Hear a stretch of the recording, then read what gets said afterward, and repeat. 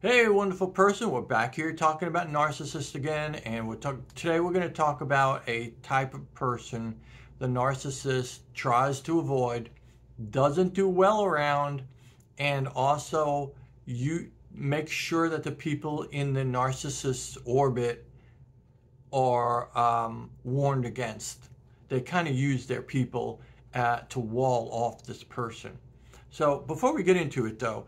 I have to thank everybody who has subscribed. Thank you very much. It means the world to me. It's making, uh, it's letting us get this word out to people. You know, one day I hope that, I know narcissism is getting to be a big topic, but it would be nice if everybody in the world knew about narcissism like everybody, even the narcissist, and they were like, "Yeah, I have narcissism. I'm, I'm trying to work with it. Uh, sorry, uh, this is, you know, what if we were at that point in the world, right? And by getting these kind of videos out, people are learning the roadmap, the blueprint of a narcissist, and how they react, how they think, how they feel, and why they feel that way, so that when they come in contact with a narcissist they're more likely to do well against the narcissist and eventually leave the narcissist or or not even get into their entanglement, get entangled into their web of lies and and deceits and trickery. Right. So if you like this kind of video, please press like because it helps the channel out a lot. It helps gets the word out. And subscribe. I thank you very much, subscribers. It means the world to me and to this channel. So, and we're helping people. Uh, if I had a channel like this back in the old days, would, God, my life would be so much different because I wouldn't have gotten involved with narcissists. I wouldn't have kept going back to the narcissist like I could fix them. You can't fix the narcissist. You can't fix the narcissist. A, a therapist could barely fix the narcissist.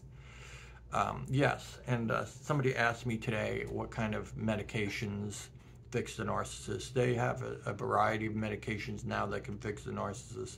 Well, fix the help the narcissist get over their issues in life um, to help fix their situation and better the situation. And I've actually seen it work. And I know people are like, no, that's not going to happen. But it can happen. It's rare. It's rare, but it can happen. So today we're going to discuss a kind of person that kind of dissolves away all of the crud that the narcissist uses to ensnare people and use people. A kind of person that is immune to all the tricks that the narcissist uses, and a kind of person, honestly, that we all want to kind of be like. And that person, unfortunately, doesn't have a label. Yay! so, how do I describe this person? Uh, and you can see we look at our issues more than we look at our solutions. This person is the solution to so many things in life. This type of person. But narcissists, on the other hand, we have a label for them. we we used to have another label for them. Now we have narcissism, some call uh, narcissistic personality disorder. Some people call the abbreviation is NPD. So we have a label for it, but this this person that the narcissist doesn't do well around is a um, a well-grounded, um, self-centered in a good way with themselves and their heart and their boundaries and what they like and what they don't like. Now, usually when we say self-centered, what it really means is we're saying self-absorbed and they're kicking the world away. They don't want anything to do with the rest of the world. They're so self-absorbed in themselves.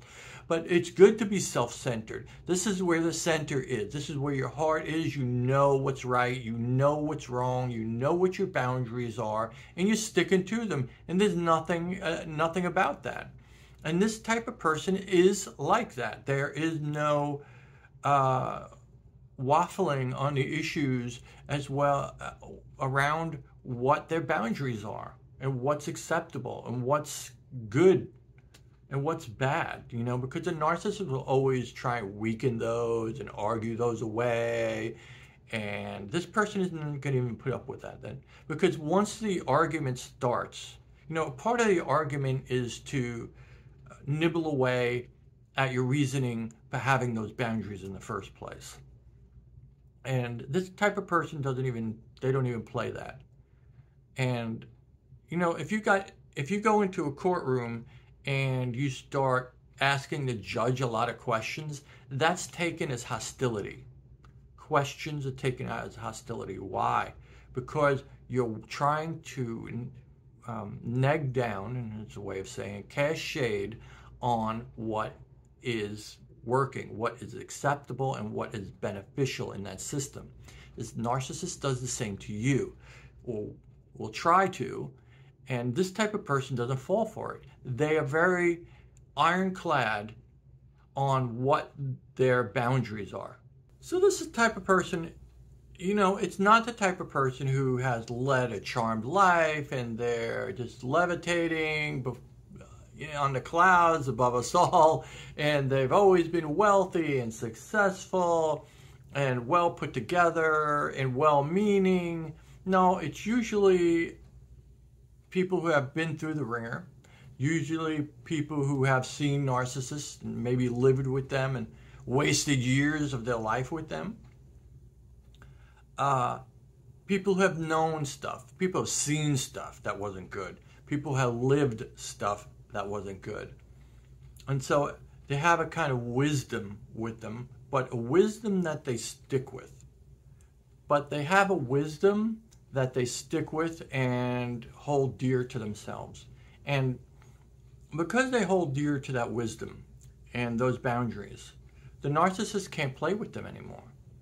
The narcissist can't bend their boundaries this way or that way because this well centered, uh, holistic uh, individual, you know, and I say holistic because they know all the aspects of themselves. They're okay with their their flaws, but they're like, eh, you know, everybody's got flaws. I'll, I'll, work with them. I'll better them. I'll, I'll, try and get it so that they're not um, holding me back. And and then when they they and they see their good points, but they're not like, oh man, they, these good points make me so much better than everybody else. Everybody else is dirt because I'm good at this. They don't they don't go there, right? They're kind of in the middle and they stay in the middle and they love being in the middle of of like well-adjusted heart-centered person. There's no label for it unfortunately. So the description you're going to have to do.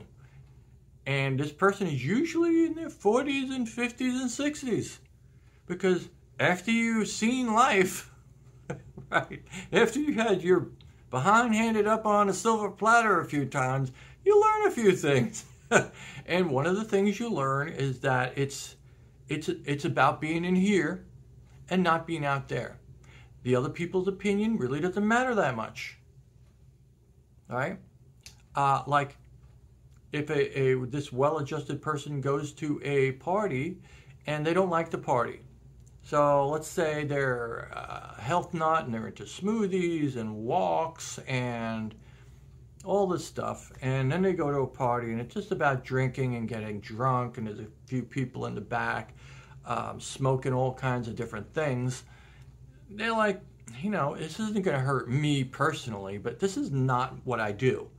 Uh, and the thing is, is that you can't weaken your boundaries. You can't play with your boundaries. You have to know what you're good at and what you're not good at what you're going to do and what you're not going to do. And you're just never going to do it. And it's not a matter of, um, you know, bending these boundaries that you have. And it's not a matter of being like, uh, I don't do this, you know, I'm going to be a rule Nazi and I'm never going to do that.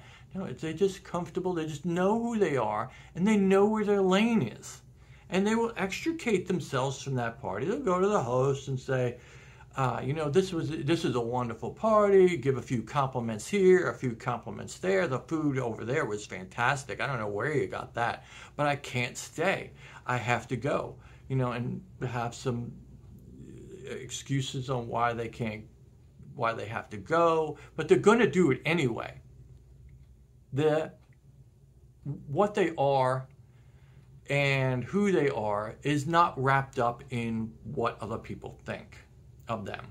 And for the narcissist, that's a lot of what and who they are, right? What other people think of them.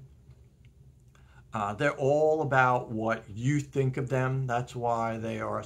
They'll they'll come to you and say, "Hey, man, do, do you like my shirt? This this shirt you know, I got this shirt on sale. Look at how good it is. You know, it's from Italy. Look at look at the and you weren't even talking about that, right? well, this guy, this well-adjusted type of person will say, "Oh, well, hold it now.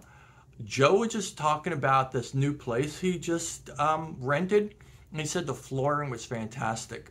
Go ahead, Joe, uh, finish that story, right? And the narcissist is like, what?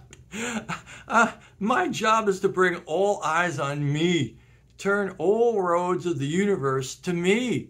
And this guy, who did who the hell does he think he is? He's he's he's in control of the conversation. He's going to control this party and control all our thoughts. Who the hell does he think he is? Now, the narcissists, they're doing the same thing. This is their life right? They will complain in their own head, in their own head, about kind of what they are. They don't like what they are. So, you know, that's another thing too. If you strip away all the narcissists BS and gaslighting and and show them what they are every day, they are and they they they default back to shame, drastic shame. But anyway, I go off on a on a tangent there a lot of the edits that I have in these videos are me going way off topic.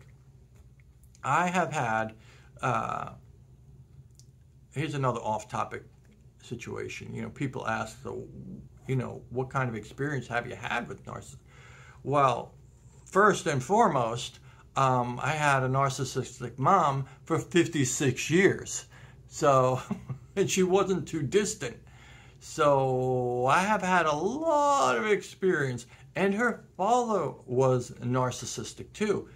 And they're both narcissistic in a different way, but they have very similar patterns of behaviors, of things they don't like and things they don't tolerate. I brought that up to um, both of them, and they didn't like that either. they didn't like me too much uh, bringing up the narcissist does not like the person that can see right through them in any respect, even if you just saw a sliver right through them. Not the whole thing, just a sliver. Oh, they don't like it at all.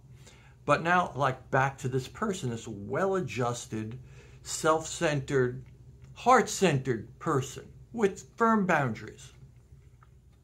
They don't like that person because that person, they don't have any effect on that person. That person they can't manipulate that person in any way, right?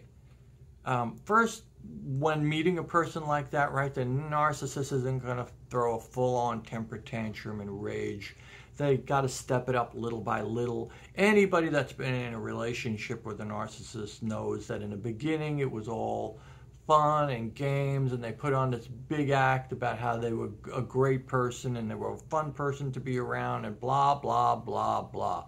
It was all show, and then but they they step up the um, the abuse little by little, right? First they cut into conversations and just bring it back to them for no reason at all. That's the first, maybe one of the first steps. And then they step it up, and then they step it up, and then they step it up, and they dial it back a little bit to see where you're at, and they, and then they step it up even more and more, right? And maybe they'll have a heated argument that's or they will just flip out because you criticize something or you had your own opinion. God forbid you should have your own opinion. And then they'll apologize for it. And then they'll do it again two days later. And then they won't apologize for it. See, that's a step up. That's a level up. They're bringing you in. So, oh, my camera almost uh, went out on me. So, it's been said that you can, and I don't know why you'd want to do this, you can boil a frog. and the frog won't jump out of the pot if you turn the water up very slow, uh, turn the temperature up very, very slowly. And the narcissist does the same thing. You won't jump out of that pot of narcissism if they turn it up very slowly, little increments. And so, this type of person, this well centered, uh, heart centered, firm boundaries type of person, is going to come into their world, and the narcissist is going to throw in these little little hooks. I think of them as right, like fishing hooks. They just throw it out there, and if you take the bait, they you in a little bit, and then you know they reel you in more and more and more. Uh, well, this type of person is totally immune to that, right? They just because their center is here. It's not out there. They really don't care terribly what other people think. They care more about that they did the right thing and that they didn't do wrong things to themselves. They didn't let other people abuse them and they didn't stand by while other people were abused. Right? They have a strong sense of morality, but it's not like a Nazi sense of morality, right? Where it's all forceful and almost abusive, or actually abusive. Um, and I want to say, right, that they don't care what other people think. In a, in a way, they do. In a way, they mostly don't, because they say, "I have to leave this party," and I really don't care what they think, but they do care what they think, right? Um, they apologize profusely. They uh, not too profusely. They're going to leave anyway one way or another because they have solid boundaries.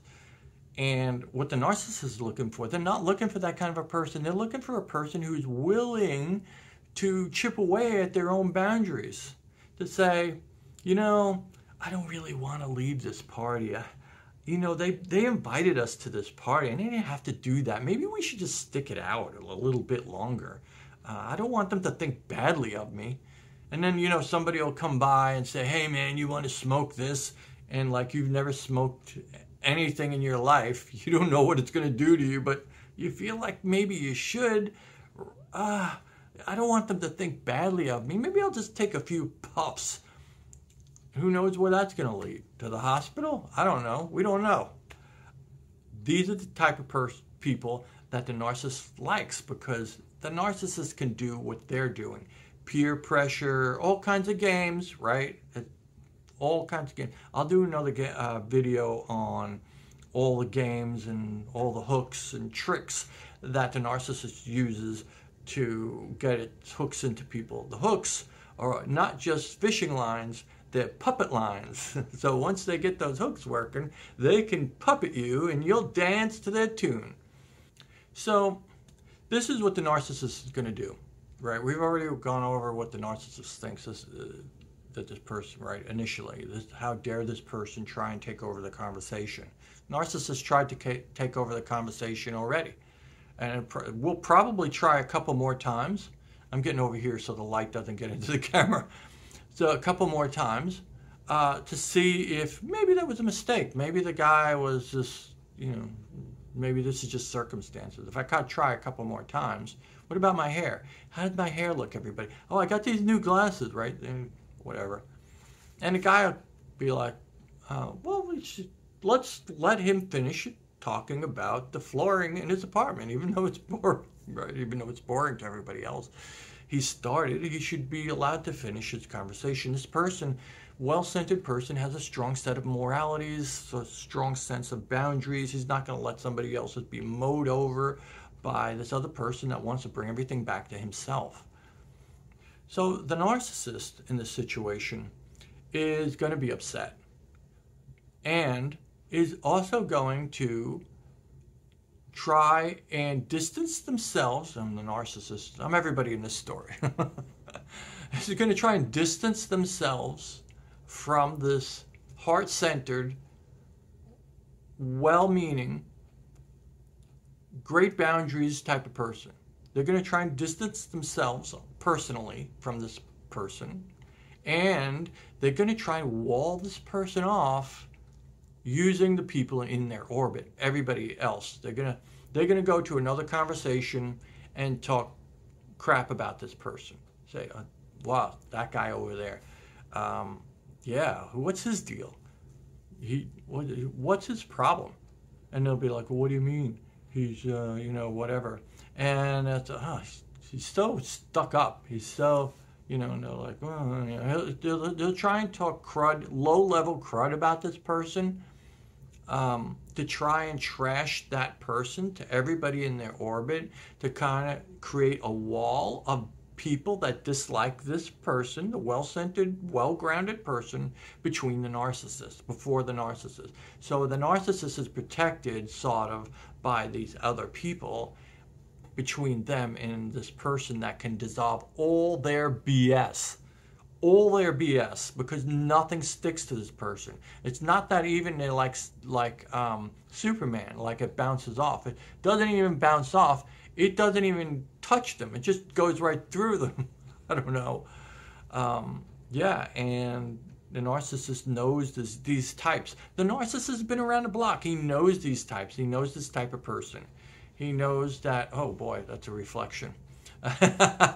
he knows what the deal is. And he recognizes this kind of person and he doesn't want anything to do with it because this person can illuminate all their tricks and dissolve all the tricks and all the hooks that they have in um, anybody else right? So this person could say oh no no no don't do that don't, don't don't do that. And the narcissist is like hey wait wait a second. That's my servant. I told that servant to do that you know in one way or another. I didn't tell them directly but I, i'm getting them to do it because i shamed them into it. Don't you tell them not to do it because it's good for them the narcissist doesn't want this type of person around. That's part of the reason why the narcissist doesn't want this person around. And because also the narcissist doesn't really understand this type of person. Narcissist sees everybody as trying to outmaneuver them, out to get them. Those, a lot of times they'll say it. Everybody's out to get everybody else, or everybody's trying to achieve a power standing in something. Narcissists see a love relationship as a power relationship. Who has more power in the love relationship? It's about power who and who has the most, which is really bizarre, especially if it's about love. It's not about, you know, outmaneuvering somebody like we're on a battlefield. But that's why it's a personality disorder. And one of the key aspects with this person that I forgot to mention is that these well centered people, heart centered, self centered people in a good way, uh, don't take a lot of things personally. They don't personalize everything. Narcissists like to personalize everything, right? If you do something wrong, you're wrong. It's not that your habits were wrong or you weren't raised right and you just have to learn a different way of doing things in order to get things to. No, no, no, no, no. Not in a narcissist world. You are broken, and deserve to be punished, usually by the narcissist. But the well centered person, it's like, no, no, no, no, don't, don't worry. You'll get the hang of it. You'll learn the hang of it. It's just a habit, just like everything else. You'll get, or it's just a learning curve and you'll get the hang of it. They don't personalize everything. And when a narcissist uses you know, threats or language or um, name calling. That, that's a, uh, or lies. The, the narcissist will lie about this person and say they didn't do something that they actually did, and maybe get try and get them trouble at work, make them look like a fool and a liar in front of the managers or whatever. This well-centered person doesn't take that personally. Yes, I know. A lot of people, uh, I could feel other people on the other side of the screen screaming, What? What? That's so wrong. That's so wrong. There are so many so wrong stories behind narcissism. Everybody that's known a narcissist knows that there are so many. And you, you'll see stories pop up in the comments. They're like, oh my God, they did that to you? Really? And it's all that and a lot more and a lot worse. I digress. I digress. He doesn't take it personally, right? He's like, you know, this person is damaged. Um, I'll outmaneuver this person because I have a great work ethic. I I do tell the truth, and the truth will out because I tell the truth and I show them the truth. And I could go out of my way to show them that what they're talking about, what they're thinking of me is not correct without attacking this person, without being vengeful, vengeful to this person, right? And that's what the narcissist didn't expect. The narcissist is, is attacking you to get you to respond in kind or worse so that they can play the victim now and say, oh, look at this person attacking me out of nowhere. I had no idea. I'm just innocent sitting here, and this crazy person is attacking me. Oh boy, they have a real bee in their bonnet today. I hope they get it together, right? that's what the narcissist, that's narcissism 101. But this type of person doesn't do that because they didn't take it personally, so they don't take any of the bait any of the big bait that the narcissist throws out. They can't get their hooks into them. And it's an it's a, it's a fantastic trait to have because they don't get over personalized with themselves as well, right? Their uh, successes, uh, the things they do well, and the things they do terribly, they don't get overly um, into those things. They don't. It's not doesn't it, because they don't do well in something. It doesn't mean that they are a flaw, and because they do extremely well and they're extremely successful in something, doesn't mean that they're better than all the rest of us. It's just a habit that they picked up somewhere along the way. If it's a successful habit, like making money, they're very happy and very grateful that they have that, and if it's a bad habit, they might want to change that, and they, they'll probably admit that they want to change that too, but it doesn't mean that they are degraded by it. That's this type of person. And that's why it's very difficult for the narcissist to get their hooks into. When we see, when we hear about a person like this, well, of course, we don't want any narcissists in our lives, but this is also a great way to be and a great kind of person to be. And we want to become this kind of person that's almost immune to, well, first of all, to narcissists, but, you know, it's not just narcissists. There's a lot of people in society that pick up narcissistic traits that are not narcissists. Maybe because they've never seen any healthy traits, or just because it just seems so powerful they picked it up on their own, or more likely they've been raised by narcissists, but they haven't become narcissists themselves and so now they have this big toolbox of narcissistic tools in it that they use to get what they want, honestly, because they don't really know any better. So these situations, these type of people will uh, be immune to all that because there are a whole lot of people out there in the world that act like this or they they don't usually have narcissistic like traits until something goes gets really stressful, right? They uh, and then they act poorly under the stress. Um, and being this well-grounded, nice, boundaried person is just the holy grail we all strive for. I know I'm striving for. It doesn't always work. I'm in a career where people have narcissistic traits and there are narcissists. So I'm trying to be, it makes me, if it helps me be a better person because it keeps saying that. If you become this, this heart centered, well centered, self centered in a good way, firm boundaried person, then nothing basically can touch you. I mean, your, uh, and, and, your own flaws, your own, right, you, the, the problems of life basically can't touch you because this type of a person is like, well, yeah, I may be going through bankruptcy. Yeah, and I'm going through divorce. Yeah, and I have this terrible disease. Yeah, but that's all life. That's all life. I'll get past it some way. I'll figure some way past it. Everybody, you know, people have done this a million times over. I'm not that unique. I'll get on with it. Right? I don't know if I could deal with all that stuff at once. so yeah, we all want to kind of be that type of person, and it, it's a it's a work in progress. Like I said, uh, usually these people are 40 plus because they have had stuff to work on, and usually because they had to work on it, not because they went to a monastery and meditated eight hours a day. It's because because life was tough Life was hard. They worked their way through it. They grew. They wanted to grow. And now they are through with the narcissist or whatever crap, terrible situation that they were in.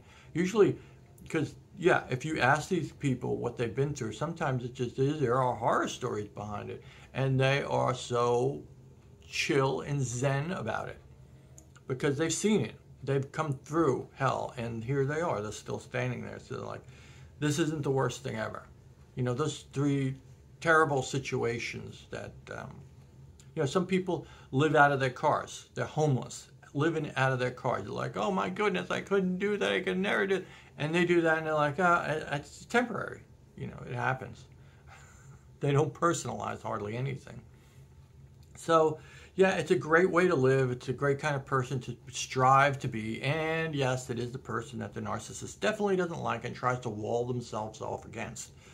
But, ah, uh, yes, I'm not there yet.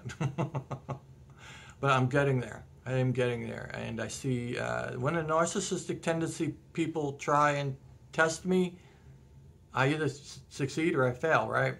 And I've been succeeding a lot lately because I've been learning. And it's not about just learning here, it's about when the knowledge goes here. You know, the ancients used to say, and this confused the heck out of people, and it used to confuse the heck out of me, and they said it again and again, like Roman times and stuff, that knowledge, that the seed of knowledge was not here, it was here. We're like, oh, please, we've been to the moon, man, and we know brains and we know it's all here. Now I know what they're talking about. It, it's here. Because here it's intellectual. It's just a concept that can be constructed or deconstructed. But when it's here, when you know it through and through, without a doubt, it's in your heart. You feel it here. And when your boundaries are here, and when your heart is here and your heart is in it, and in your life, you're almost indestructible, especially to narcissists. Okay, people, I hope this helped. Have a great day, and let's get on with our great lives.